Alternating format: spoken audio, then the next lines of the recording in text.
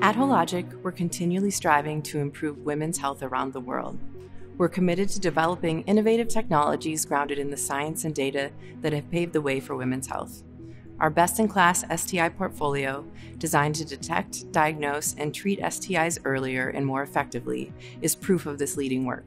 Almost half of new STIs were among youth aged 15 to 24 in the US, and undiagnosed infections can lead to serious adverse health outcomes later in life. That's why the CDC recommends screening all sexually active women under the age of 25 for chlamydia and gonorrhea annually.